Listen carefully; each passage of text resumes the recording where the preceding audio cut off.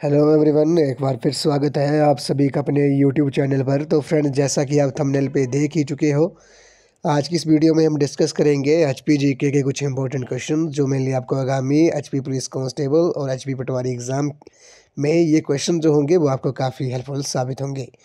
तो फ्रेंड्स आपने करना क्या है? इन क्वेश्चन के शॉर्ट फॉर्म में नोट्स ज़रूर बना लेने हैं क्योंकि रिविज़न के टाइम ये क्वेश्चन आपको काफ़ी हेल्पफुल साबित होंगे। तो फ्रेंड्स आप मुझे इंस्टाग्राम पर भी फॉलो कर सकते हो। इंस्टाग्राम आईडी का जो लिंक है, वो मैंने डिस्क्रिप्शन बॉक्स में दे दिया है। तो फ्रेंड्स वीडियो को शुरू करते हैं। इस वीडियो का क्वेश्चन नंबर फ़र्स्ट है। इसमें बोला गया कि हिमाचल प्रदेश अनिवार्य प्राथमिक शिक्षा अधिनियम जो था, वो किस वर्ष में लागू किया गया था? तो क्वेश्चन नंबर फ़र्स्ट का जो राइट आंसर है, वह आपको ऑप्शन नंबर सी है। उन्नीस सौ तिरपन में हिमाचल प्रदेश अनिवार्य प्राथमिक शिक्षा अधिनियम जो था, वो लागू किया गया था। अगले प्रश्न में चलते हैं। हिमाचल प्रदेश में युद्ध संग्रहालय जो है वो कहाँ पर स्थित है? हिमाचल प्रदेश में वॉर मेमोरियल जो है वो कहाँ पर स्थित है? तो ये धर्मशाला में है, जो कि डिस्ट्रिक्ट कांगड़ा में है, ऑप्शन नंबर डी, इस क्वेश्चन का करेक्ट आंसर है। नेक्स्ट क्वेश्चन में चलते हैं। कामरूनाग झील मंडी ज़िले के किस तहसील में है? तो कामरूनाग झील जो है वो मंडी ज़िले के चचियोट तहसील में है, ऑप्शन नंबर ए जो है इस क्वेश्चन का करेक्ट आंसर है। अगले प्रश्न में चलते हैं। हिमाचल प्रदेश को पूर्ण राज्य का दर्जा जो था वो कब प्राप्त हुआ था? तो हिमाचल प्रदेश को पूर्ण राज्य का जो दर्जा था वे पच्चीस जनवरी उन्नीस सौ इकहत्तर को हुआ था और ये भारत का अठारहवा राज्य बना था। ये आपने याद रखना है इंपॉर्टेंट क्वेश्चन है। कई बार एग्ज़ाम में क्वेश्चन जो है वो पूछा गया है। नेक्स्ट क्वेश्चन पे चलते हैं। तिब्बती धर्मगुरु दलाई लामा जो थे वो धर्मशाला कब आए थे? तो तिब्बती धर्मगुरु दलाई लामा जो थे वो वर्ष उन्नीस में, वर्ष उन्नीस सौ उनसठ में ये धर्मशाला आए थे। नेक्स्ट क्वेश्चन में चलते हैं। चंबा में रंग महल का जो शिलान्यास था, वो किसने किया था? तो चंबा में जो रंग महल है, उसका जो शिलान्यास था, वो राजा उमेद सिंह ने किया था। ऑप्शन नंबर सी जो है इस क्वेश्चन का करेक्ट आंसर है। नेक्स्ट क्वेश्चन में चलते हैं। हिमाचल प्रदेश में जनमंच कार्यक्रम जो था वो कब प्रारंभ हुआ था? तो ये तीन जून 2018 को प्रारंभ किया गया था। भाजपा सरकार जब हिमाचल प्रदेश में सरकार में थी 2017 से लेकर 2022 तक तो ये ये जनमंच कार्यक्रम जो था वो भाजपा सरकार के समय ही चलाया गया था। अभी कांग्रेस की सरकार है तो ये जनमंच कार्यक्रम जो है वो फ़िलहाल बंद है। नेक्स्ट क्वेश्चन में चलते हैं, उदयपुर जो था वो किसका पुराना नाम था? तो उदयपुर जो था वो आपको पता है, ये मरिकुल का प्राचीन नाम था और ये प्रेजेंट में डिस्ट्रिक्ट लाहौल स्पीति में है। उसी तरह से क्वेश्चन पूछ सकते हैं कि ब्रह्मौर का प्राचीन नाम क्या था? ब्रह्मौर का प्राचीन नाम ब्रह्मपुर था और ऊना का प्राचीन नाम जसुआ था। नालागढ़ का प्राचीन नाम हिंडूर था, ये आपने याद रखना है। उसी तरह सराहन का जो प्राचीन नाम था, वे शौणितपुर था, ये आपने याद रखना है, नूरपुर का धमेरी था और नालागढ़ का हिंडूर था। बैजनाथ का किरग्राम था। ये आपने याद रखना है इंपॉर्टेंट क्वेश्चन है कई बार एग्ज़ाम में क्वेश्चन जो है, यहाँ से पूछे गए हैं और किन्नौर का प्राचीन नाम जो था, वो चीनी था। तो उदयपुर का जो प्राचीन नाम था वे आपका जो मरिकुल था और ये उदयपुर जो है, लाहौल स्पीति डिस्ट्रिक्ट में स्थित है। अगले प्रश्न में चलते हैं। दरन घाटी अभ्यारण्य जो है, दरन दरन घाटी सेंचुरी हिमाचल प्रदेश के किस ज़िले में है? तो ये डिस्ट्रिक्ट शिमला में है। ऑप्शन नंबर ए जो है, इस क्वेश्चन का राइट आंसर है। नेक्स्ट क्वेश्चन पे चलते हैं। वैदिक काल में किस नदी को पुरुषणी के नाम से जाना जाता है? तो रावी को रावी को वैदिक काल में, वैदिक समय में रावी को पुरुषणी के नाम से जाना जाता है। नेक्स्ट क्वेश्चन में चलते हैं। कांगड़ा जो था वो कब, कांगड़ा जिला कब बना था? तो कांगड़ा जिला जो था वो एक सितंबर एक सितंबर उन्नीस सौ बहत्तर को बना था। ऑप्शन नंबर ए इस क्वेश्चन का, राइट आंसर है। हिमाचल प्रदेश में प्रथम सेना प्रमुख जो थे, वे कौन थे? वे जनरल वी एन शर्मा थे। अगले प्रश्न में चलते हैं। इसमें बोला गया कि प्रदेश की धामी रियासत का जो प्रसिद्ध गोलीकांड था, वे कब हुआ था? तो आपको पता है, वर्ष उन्नीस सौ उनतालीस में जो धामी गोली कांड था, वे 16 जुलाई उन्नीस सौ उनतालीस को हुआ था। इसको थोड़ा डिटेल में डिस्कस कर लेते हैं। तो आपको पता है, हिमाचल प्रदेश के इतिहास में धामी कांड जो था, वो राज्य की काली घटना में से एक है और धामी एक छोटी सी रियासत थी जो राणाओं के शासन के अधीन थी। स्वतंत्रता संग्राम और राजाओं के विरुद्ध आवाज़ उठाने के वर्ष में विरोध में वर्ष उन्नीस सौ उनतालीस में धामी रियासत में गोलीबारी की गई। इसके बाद इसे, इस इस गोलीकांड की जाँच के लिए एक समिति का जो गठन था, वह किया गया था। और धामी गोलीकांड कब हुआ था? 16 जुलाई उन्नीस सौ उनतालीस को हुआ था। अगर आपसे क्वेश्चन में पूछा जाए कि धामी गोलीकांड में कुल कितने लोग शहीद हुए थे तो कुल दो लोग शहीद हुए थे। नेक्स्ट क्वेश्चन में चलते हैं। प्रदेश प्रसिद्ध सुलूनी देवी का मंदिर जो है, वो कहाँ पर स्थित है? तो सुलूनी देवी का जो मंदिर है, वो आपका डिस्ट्रिक्ट सोलन में है। ऑप्शन नंबर डी जो है, इस क्वेश्चन का राइट आंसर है। प्रसिद्ध सुलूनी देवी मंदिर जो है हिमाचल प्रदेश के सोलन में स्थित है और सुलूनी देवी दुर्गा या पार्वती का प्रमुख रूप है। ये आपने याद रखना है सुलूनी देवी जो है वो दुर्गा या पार्वती का प्रमुख रूप है, जिन्हें देवी शक्ति के नाम से भी जाना जाता है और माता का सलोनी रूप और ज्ञान निर्माण, संरक्षण और विनाश की जड़ है और ये सोलन लोगों की पारिवारिक देवी भी है। नेक्स्ट क्वेश्चन में चलते हैं। इसमें बोला गया है कि सिरमौर रियासत सिरमौर रियासत के जो संस्थापक थे, वे कौन थे? तो सिरमौर रियासत के जो संस्थापक थे, वे राजा रसालू थे। ऑप्शन नंबर बी, इस क्वेश्चन का राइट आंसर है। ऑप्शन नंबर बी, इस क्वेश्चन का करेक्ट आंसर है।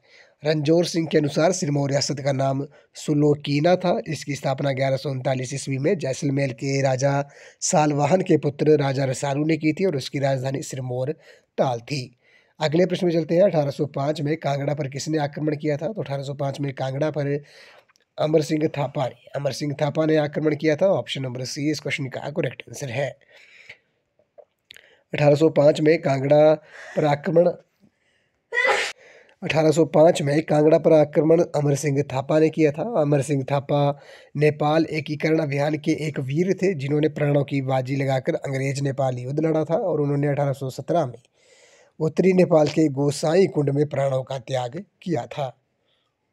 अगले प्रश्न में चलते हैं। इसमें बोला गया कि किस साधु की पूजा सिरमौर में की जाती है? तो आपको पता है, सिरमौर में जमदग्नि ऋषि की पूजा की जाती है, साधु की पूजा की जाती है। सिरमौर में जम जमदग्नि साधु की पूजा का प्रचलन है। जमदग्नि एक साधु थे जो भृगुवंशी ऋचि के पुत्र थे। इनकी गणना सब सप्तऋषियों में होती है। पुराणों के अनुसार इनकी पत्नी रेणुका थी। व इनका आश्रम सरस्वती नदी के तट पर स्थित था। नेक्स्ट क्वेश्चन में चलते हैं। वर्तमान में हिमाचल प्रदेश के शिक्षा मंत्री कौन है? तो अभी आपको पता है, श्री रोहित सिंह जो है, रोहित ठाकुर जो है। रोहित ठाकुर जो है वे प्रेजेंट में हिमाचल प्रदेश के शिक्षा मंत्री हैं। आपने कमेंट सेक्शन में बताना है कि भारत के जो शिक्षा मंत्री हैं, केंद्रीय शिक्षा मंत्री जो है, वो कौन है? नेक्स्ट क्वेश्चन में चलते हैं। हिमाचल प्रदेश के मंडी जिला में रिवाल्सर के साथ कौन सा संत जुड़ा है? तो ऋषि लोमस जो है, इस क्वेश्चन का राइट आंसर है। ऋषि लोमस का जो संबंध है, वे मंडी ज़िले के रिवाल्सर से है। हिमाचल प्रदेश के कौन से ज़िले में बिजली महादेव मंदिर स्थित है? तो बिजली महादेव मंदिर जो है, वो आपका डिस्ट्रिक्ट कुल्लू में है। ऑप्शन नंबर ए जो है, इस क्वेश्चन का। राइट आंसर है। अगले प्रश्न चलते हैं, हिमाचल प्रदेश के कौन से ज़िले में गोची त्यौहार मनाया जाता है? तो गोची त्यौहार जो है, वो लाहौल स्पीति डिस्ट्रिक्ट में मनाया जाता है। ऑप्शन नंबर सी जो है, इस क्वेश्चन का करेक्ट आंसर है। अगले प्रश्न में चलते हैं, हिमाचल प्रदेश के कौन से ज़िले में जूरी लोक नृत्य होता है? तो जूरी लोक नृत्य जो है, वो आपका डिस्ट्रिक्ट सिरमौर में होता है। ऑप्शन नंबर सी इस क्वेश्चन का करेक्ट आंसर है। नेक्स्ट क्वेश्चन में चलते हैं, किन्नर देश पुस्तक जो है, वो किसने लिखी है? तो किन्नर देश पुस्तक जो है वो राहुल संस्कृत्यान ने लिखी है ऑप्शन नंबर बी जो है, इस क्वेश्चन का करेक्ट आंसर है।